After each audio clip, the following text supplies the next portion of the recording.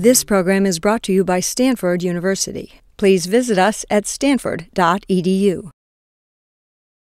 No, energy issues are so politicized in this country and everywhere that I wanted to create a platform to discuss energy issues without having any affiliation with any political party, no, no agendas, nothing.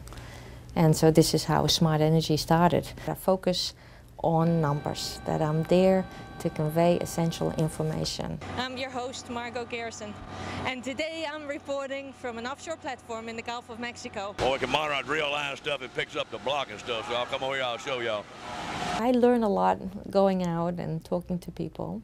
This is one of the wonderful benefits of doing this. It's, uh, the level things, hydraulics, uh, all your PDM, PHM, all that stuff. Keep a good eye on the PHM. Well, one of the nice things about being out in the field and actually meeting the people that do this, it put, puts everything a bit in perspective.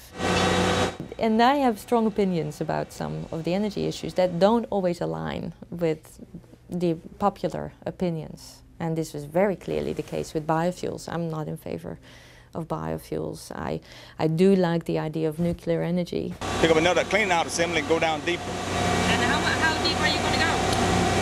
Right now we've got the chute set at 14,123 feet, and the next hole section TD will be, be roughly around 22,000 feet.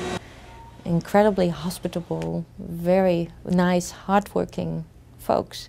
Southwest. Uh, the American Petroleum Institute looks at it and say, well, this is nice. She has a, an energy blog that actually discusses oil and gas because a lot of the energy blogs focus on clean technology developments, clean energy, and they don't want to talk about oil and gas. You know, it's not a popular thing to do, but you know, 80% of our energy comes from hydrocarbons, so you, you have to talk about it. For me, my blog is my soapbox.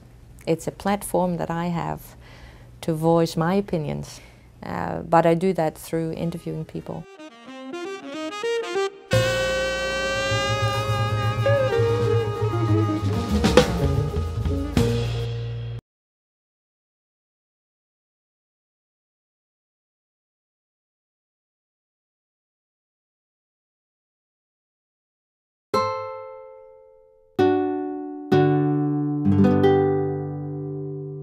The preceding program is copyrighted by Stanford University.